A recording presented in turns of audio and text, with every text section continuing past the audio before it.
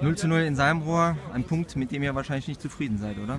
Äh, nein, denke ich nicht. Wir waren eigentlich relativ, also spielbestimmend, hatten auch äh, zwei, drei, vier gute Chancen. Da muss halt auch einen machen. Dann sieht das anders aus. Wie war es für dich im Spiel? Du sahst dich knapp einer Stunde, so wie es von außen aussah, einer Manndeckung ausgesetzt. Jo, das kenne ich ja von, von vorher auch schon. Für mich kein Problem mit, das ist halt so.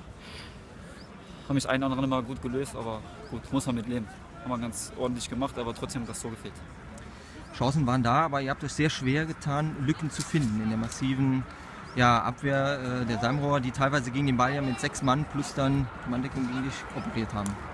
Ja, natürlich, klar. Ähm, wer den Peter kennt, oder Rubek, ist klar, dass, dass er die äh, Räume eng macht und so. Wir wussten, was auf uns zukommt. Wir haben das phasenweise auch ganz gut gelöst, aber muss halt äh, das goldene Tor her. Aber gut, dann arbeiten wir weiter ran und dann wird das noch besser.